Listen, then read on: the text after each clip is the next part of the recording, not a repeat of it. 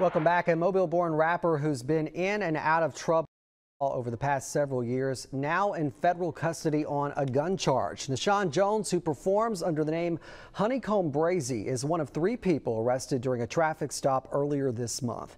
Fox 10's Brendan Kirby is live at the Breaking News Center with more on this. Brendan, all of this starting at the W.K. Wilson Bridge on Interstate 65.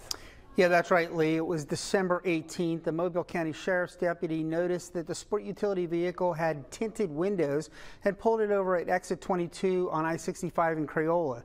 Court records filed last week indicate that law enforcement officers found guns and drugs. An affidavit filed by an FBI task force officer says a sheriff's deputy noticed a 2022 Cadillac Escalade was in the passing lane for too long on Interstate 65 and had tinted windows. windows. The driver was listed as 31 year old Mobile resident Mason Fuller. Court documents say he was wearing a soft body armor labeled enforcement and had a bulletproof vest inside the vehicle. The passengers were identified as Nashawn Jones, who is known by Honeykomb Brazy, and a 39 year old Houston man named Miguel Hall. According to the affidavit, deputies found a Girsan 9mm pistol near where Fuller was sitting and a Smith & Wesson AR pistol under the third row seat near where Jones and Hall were sitting. All three were prohibited by law from having guns, Fuller because of a protection from abuse order signed by a judge in Georgia, and the other two because of prior felony convictions. The affidavit also alleges that deputies found a partially smoked marijuana cigarette in the ashtray and a liquid medicine bottle that investigators believe may have been a syrupy narcotic drink known as lean. Jones and his co defendants in the latest gun case, meanwhile, will appear in U.S. District Court. A date hasn't yet been set. Reporting live from the News Center, Brendan Kirby, Fox 10 News. Yo, yo, yo, it's Big Ant, the spokesman, man. We back. Another edition of Urban Politicians TV.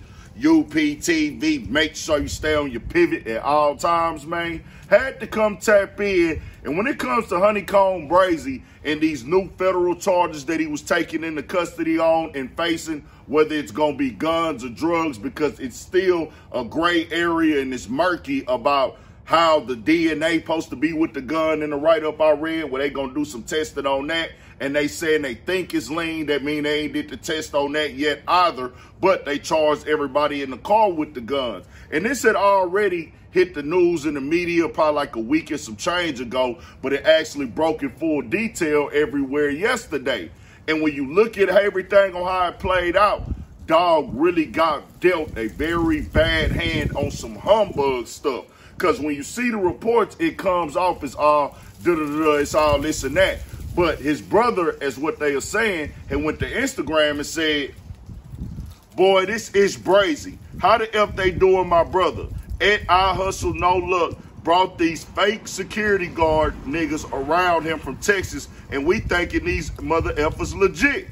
How the F these niggas fellas too? Got us thinking y'all hired real security. Then niggas pleaded not guilty, and it's like they trying to set him up. But the guns in one of them niggas' name and the other nigga BM name. So how the F y'all pleaded not guilty? Then on top of that, they move my brother to another prison and keep you niggas down in the city back there talking to the police for three to four hours. Then when Bra when Brazy tried to see what up niggas talking about, they can't talk to him. The L type of time you H niggas on. My mother effing brother got out doing the right itch giving back to the community, squashing beef in the city, moving right with some fake security that he thought was legit, and he got caught up like this on some BS because niggas ain't hired real security. Boy, all you niggas real H's. So, I hustle no luck who got tagged in that, who to my understanding is part of Brazy's team and management and everything like that, said, I usually don't do this internet-ish, but I'm gonna address this one one time. I took all proper precaution when hiring the security guard. I did a proper background check. He had no background and had all the proper security credentials during his time working. He got a restraining order put on him in his personal life and didn't disclose this to anyone. What he did in his personal life, it was kept confidential, and me or any of the team what was informed he was prohibited. Now, Brazy uh, got a message out there through his other Instagram page that I believe in God so much I will be home someday soon. Comment hashtag free Brazy, hashtag RFOL, follow Ed Honeykomb Brazy, the link in the bio. And he's communicating with his people, I'm pretty sure, from behind the wall, getting this out through them to put on social media and everything like that. And they explaining what's going down. And this is crazy, bro, because even his team said we didn't know what the security guard had going on, meaning anything in that car should have been his when it comes to them guns. Meaning, what did they arrested Honeykomb Brazy for? They didn't even say that the weed is his. They didn't even say that the drink is his, supposedly, of what they think is drink. This is really a real, real rough shake right here, dog. To hear that and see that, hold on, bro. We really thought that dog had some security that was legit, moving around the correct way as we preach in this game security and it still came out to be bad because the security guard didn't tell them something. Some fishy going on out here with them laws in uh, Alabama. And I'll say this, I ain't the sharpest knife in the drawer or the smartest nigga in the world, and I ain't the coldest at doing math. But one thing I know, when I can look at a situation and know it's some inner working parts going on from these mobile police being on that vehicle, watching that particular vehicle, because a new Escalade with tents and we pretty sure, because they know they've said it themselves, they understand why Brazy has to move a certain way out there. Because to my understanding, they didn't allow him to lose, lose Alabama.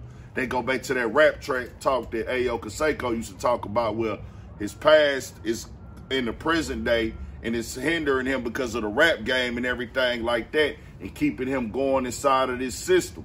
That's why we got to do our best to try to stay out the system because this right here wasn't supposed to go down like that. But when you get a bad case, a bad hand at times, they ain't trying to hear. They like, nigga, we trying to put him in the feds now. The feds is involved. They watching. They took him into custody, bro.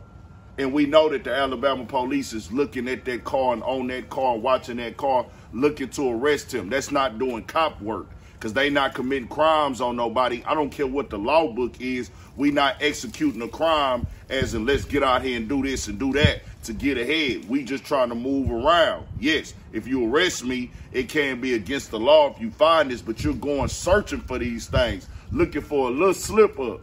That's a whole different understanding as a nigga just out here tripping, doing dumb stuff. So you got to know how to separate the two. Multiple things can be right at one time more than one thing. Yes, if the weed is illegal, the guns is illegal, that can be correct. But when y'all searching and trying to catch me slipping as opposed to me just messing up, that's a whole nother conversation. But we'll see how everything play out. Tell me what y'all think. Man, that's a bad hand right there, bro. I can't even lie. More coming, more videos, all that. 1,000 for shit show. Stay on your pivot.